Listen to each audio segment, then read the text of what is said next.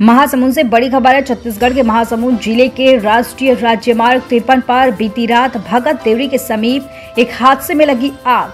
आग लगने से तीन ट्रकें जलकर खाक हो गई।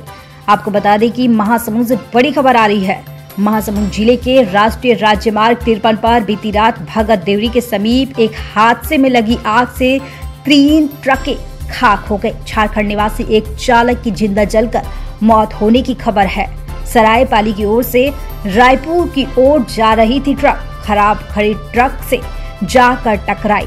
वेस्टेज ऑयल, टैंकर, वाहन पीछे चल रही ट्रक भी आई चपेट में। आग लगने की वजह से तीनों ट्रक आई चपेट में। वेस्टेज ऑयल, टैंकर की वाहन चालक और क्लीनर भी अभी तक नहीं चल पाया है पता। पूरे घटना की साकरा पुलिस कर रही है तहकीकात। घटना देर रात एक बजकर तीस मिनट से दो बजे तक की बताई जा रही है। महासमुंद पिथौरा से राजा बाबू उपाध्याय की रिपोर्ट बस देखते रहिए सीजी विजन टीवी।